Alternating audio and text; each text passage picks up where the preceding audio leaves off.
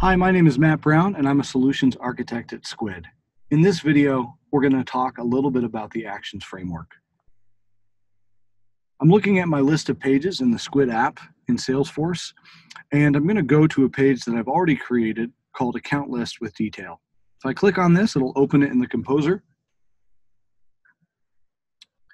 And if we look at the page, we'll see I've already set up uh, my data layer. I have a model that connects to the accounts object, and then I'm displaying that data layer in my visual layer using a component, a Skuid table. Now in the table properties, um, we, we can see down at the bottom here in the canvas, I have row actions, global actions, and mass actions. This allows me to um, add things that the user can interact with. That gives us an actions layer. That's the third layer of the application. And that's what takes us from having a static page uh, to being a dynamic user experience.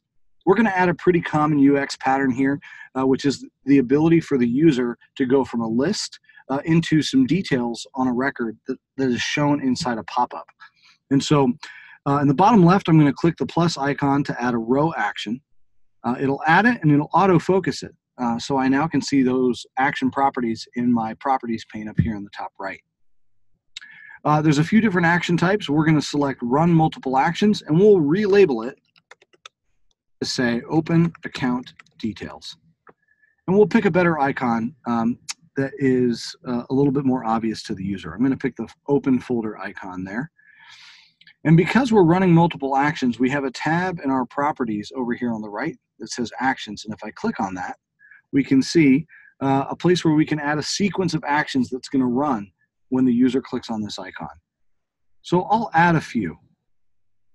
Um, you can see when I add an action, the default is save model changes, but we can change that uh, to many different types of actions that are available. Um, from visual navigation actions to uh, data changes to advanced things like running a JavaScript snippet. I'm going to go ahead and click um, show message and block UI, which lets the user know that something is happening behind the scenes. I'll say, please wait, and we'll have it timeout after 1.5 seconds. The second thing I'm going to do is um, I'm going to show a pop-up. And when I select show pop-up, I now have an option to configure that pop-up by clicking on this button right underneath.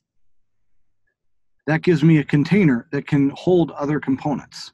So let's go up to our components library here. I'm going to grab a field editor component, which is good for showing data from an individual record.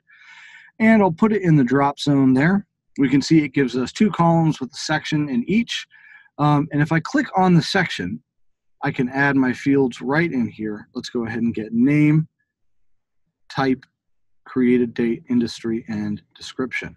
And I can move these fields around to make it more readable um, and easier for the end user.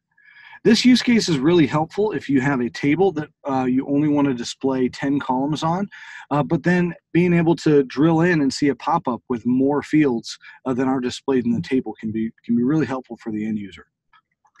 Let's go ahead and hit save and click the preview button in the composer to see what this looks like. There's our table, and now over here on the left we have a row action that we can click on which will then give us a pop-up with more information about that account.